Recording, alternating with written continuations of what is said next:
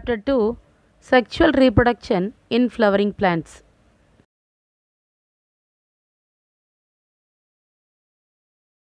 Good morning, students. Today we are going to see about gynecium and the formation of megaspore, that is embryo sac, the structure of embryo sac, and how it is seven celled, eight nucleated. Let us see one by one.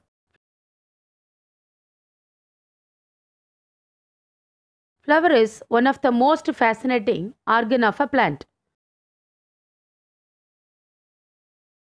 Incidentally, flowers also happen to be the site of sexual reproduction as they contain the androecium and gynecium, the male and female reproductive organs of a plant.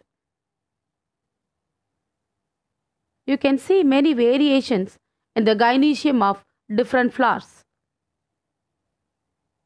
For example, the gynecium can be monocarpous, consisting a single pistil or carpel,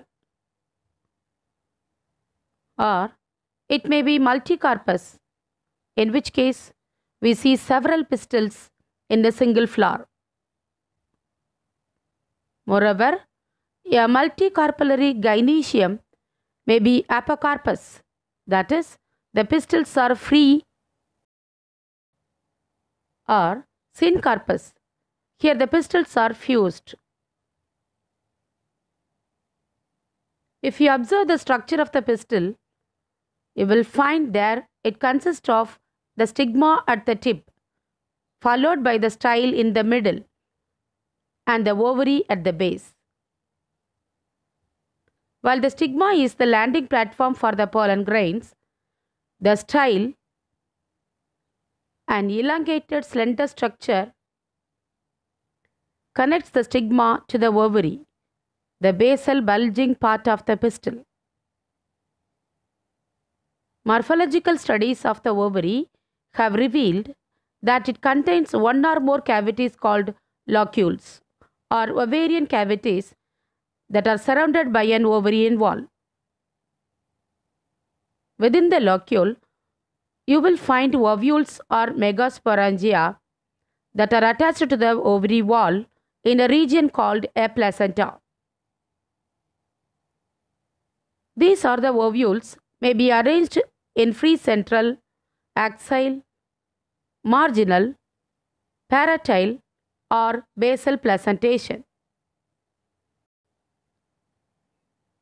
Moreover, after fertilization, the ovules form seeds while the ovary develops into a fruit. Did you know that different flowers of different plant species have a varying number of ovules in their ovaries? A peach, for instance, develops from an ovary containing a solitary ovule. A papaya, on the other hand, has several ovules in its ovary, and that's why you see numerous seeds in the fruit when it is split open.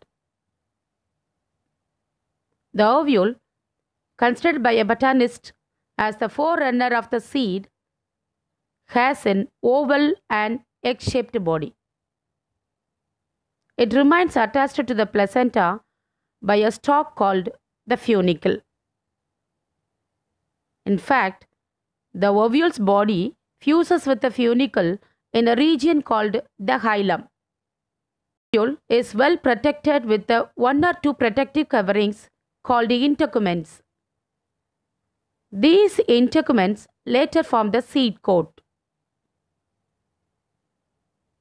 The integuments cover the entire ovule except at the apex, where they form a narrow opening called the micropyle.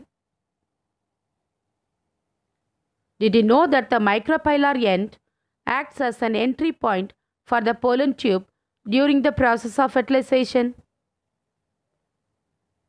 While the micropyle forms one end of the ovule, the chalaza forms the basal part of the ovule. At the chalazal region, we find that the funicle and the integuments join the nucellus, the center region of the ovule that is made up of a massive, diploid, colorless, thin-walled parenchyma cells containing food reserve materials.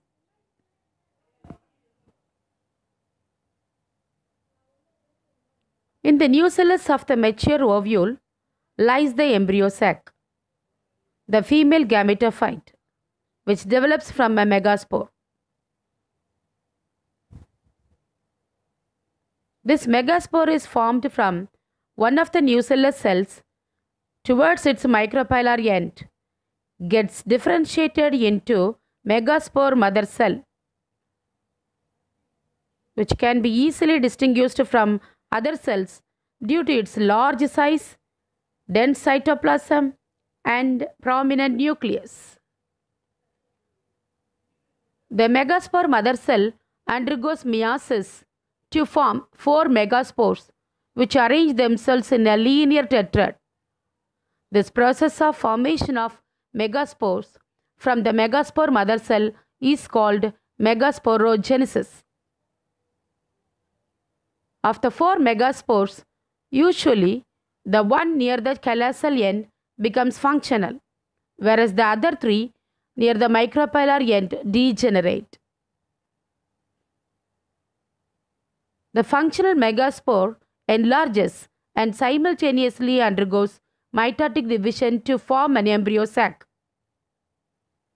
This type of formation of an embryo sac from a single megaspore is known as monosporic development.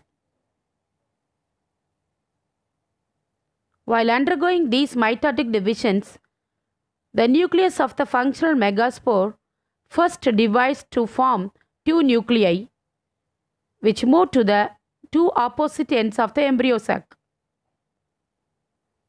This is the two nucleate stage of the embryo sac. The mitotic divisions continues and results in the formation of the four nucleate and later eight nucleated stages of the embryo sac. The mature embryo sac thus has eight nuclei after three mitotic divisions which are arranged in a group of four at each end of the embryo sac. Interestingly, the mitotic divisions that occur in a megaspore nucleus are free nuclear, which means the division of the nuclei doesn't immediately trigger the cytoplasm division and cell wall formation. Instead, we see the formation of the cell walls only after the 8 nucleate stage due to which six of the eight nuclei organize into cells. The two remaining nuclei, called polar nuclei, migrate to the center of the embryo sac. Thus, we find the embryo sac to be in seven celled and eight nucleated stage with six cells at the poles and a large central cell with two nuclei in the center. Meanwhile, the six cells organize to form the typical structure of the embryo sac, which is now ready for fertilization. The three cells present at the chalazal end, for instance, group together to form the antipodal cells which do not have any specific function, whereas the three cells at the micropylar end group together to form the egg apparatus. While one of the cells functions as an egg female gamete, the other two cells are called synergids. If you observe the micropylar tip of the synergids, you will notice the special cellular thickenings called filiform apparatus that guides the pollen grains into the synergids. The synergids as well as the other cells form the embryo sac.